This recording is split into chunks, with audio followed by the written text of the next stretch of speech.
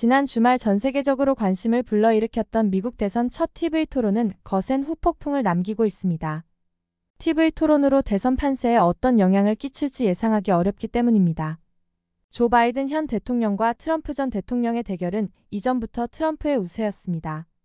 그런데 TV 토론 이후 지지율 격차가 더 벌어져 버렸습니다.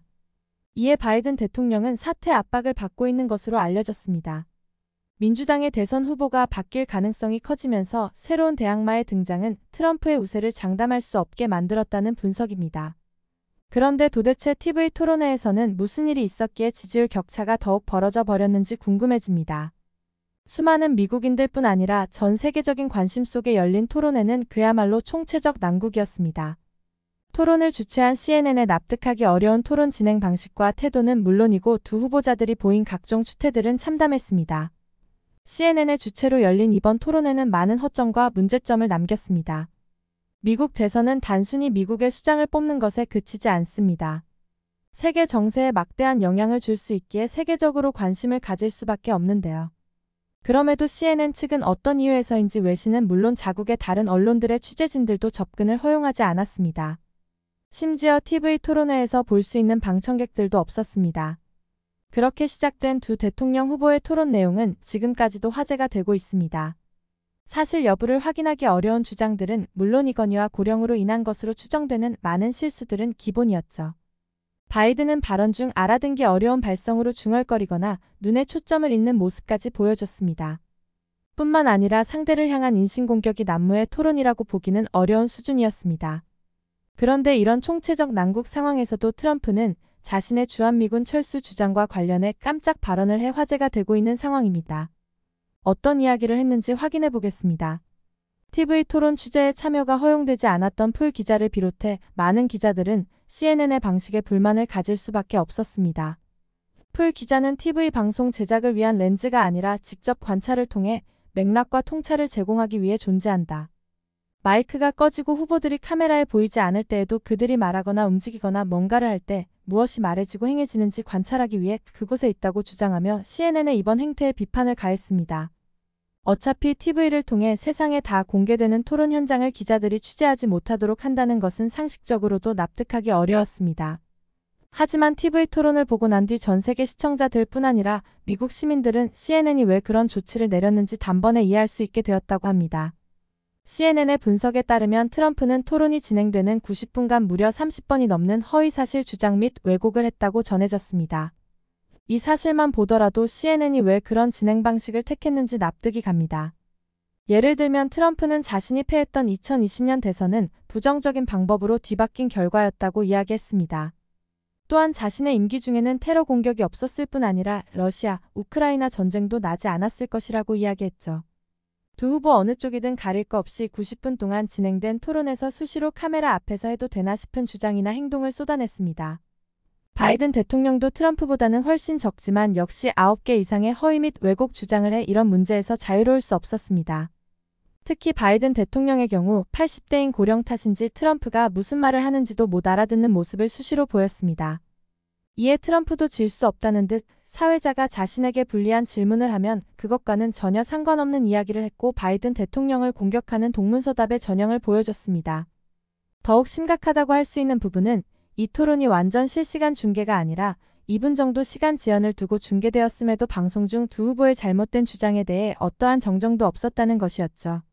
사회자들은 정해진 질문만 던져 끝내 방송 후 많은 비판을 받아야 했습니다.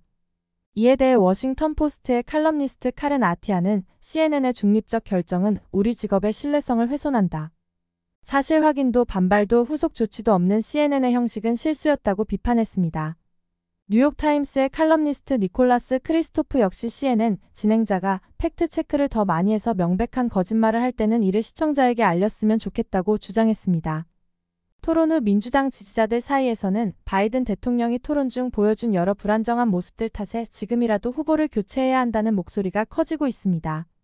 바이든 대통령은 사퇴하지 않겠다고 밝혔지만 부통령인 카멀라 해리스나 개빈 뉴섬 캘리포니아 주지사 등이 민주당 지지자들 사이에서 대체 후보로 꼽히기 시작하고 있어 후보 교체가 현실이 될지 관심이 쏠리고 있습니다. 바이든 대통령은 논란 진화를 위해 토론 참패 원인을 빡빡한 해외 순방 일정에 따른 피로 탓이라 돌렸지만 토론 도중 거의 졸 뻔했다고 말하며 논란을 더욱 키우고 있었습니다. 이에 사퇴 결단을 내려야 한다며 더욱 거센 압박을 받고 있었습니다.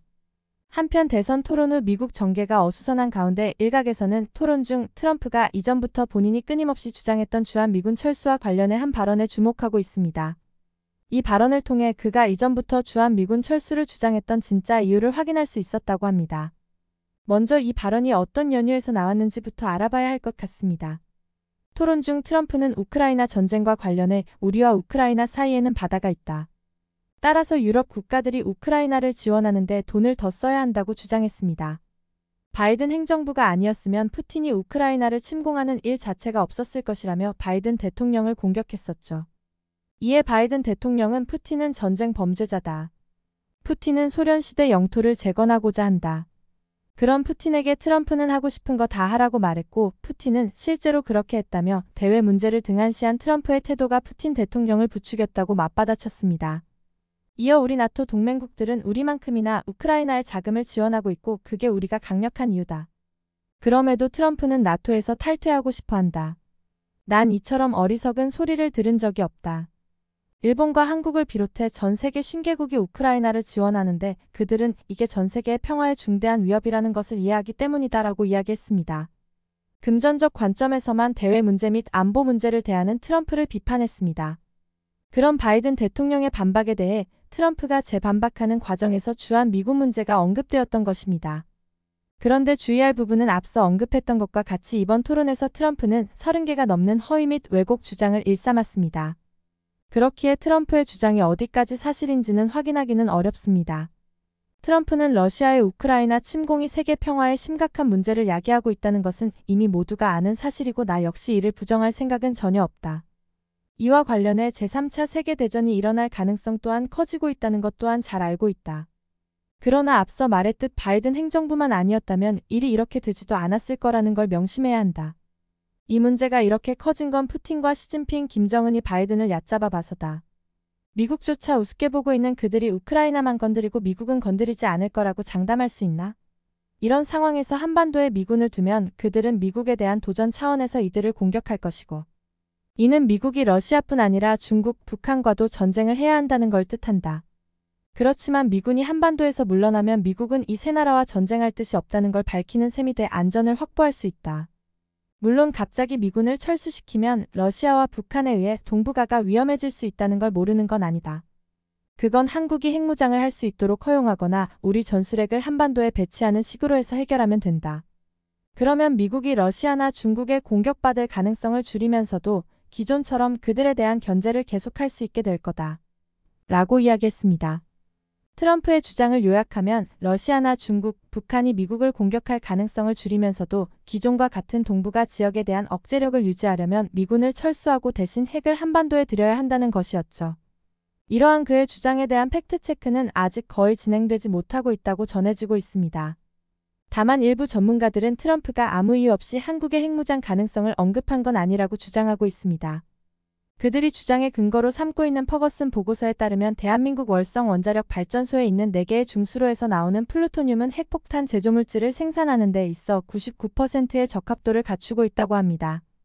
현재가 아닌 보고서가 작성되었던 2015년을 기준으로 해도 당시에 이미 월성 원전 사용 후 핵연료 시설에 26톤의 플루토늄이 있었던 것으로 추정되는데 이는 이론상 핵폭탄 4,330개를 만들 수 있는 수준이라고 합니다.